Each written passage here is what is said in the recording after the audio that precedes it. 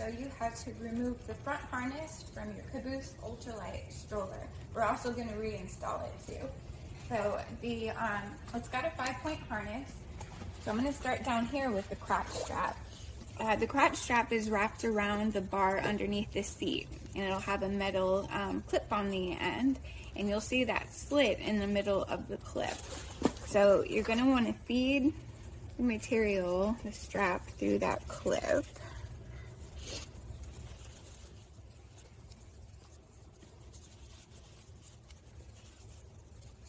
Go. And you can pull it straight out from the bottom of the seat. And then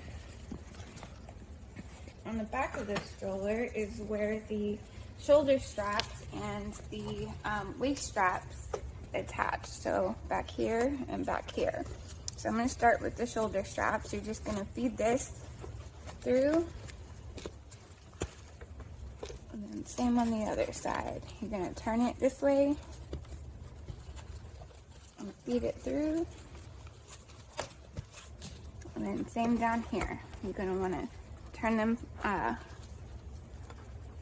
this way. You're basically going to line it up, but on the flat side, or the short side There you go. And I just removed your harness. So if you need to reinstall a new one, if you just need to change it out for whatever reason, or if you need to adjust the shoulder straps, this is the same process you do too. So, when you go to put them back in, you're gonna see the slits on the front of the seat, and then down here for your waist straps as well. So just pick whichever um, hole that you, you need it to go through. You're gonna want the shoulder strap to sit behind the shoulder and come up over. So I am going to put them right back where they were.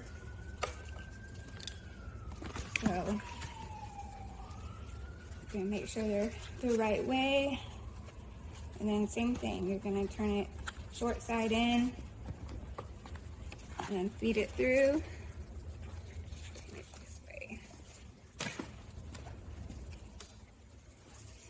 short side in, feed it through.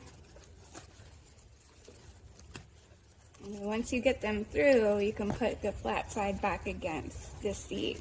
So give it a tug, make sure it's in there. And same thing with the waist straps.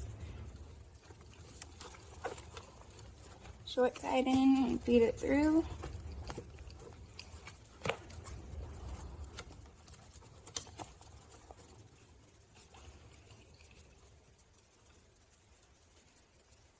short side in.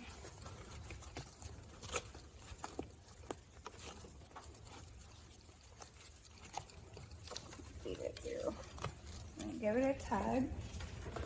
And then once you've got those attached, then you can take the crotch strap. You're gonna feed it through the slit in the bottom of the seat.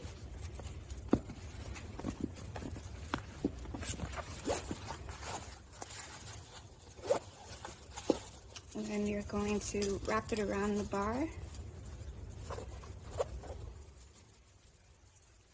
And then feed the material of the strap through the slit. And then give it a tug. And then you just changed out your harness.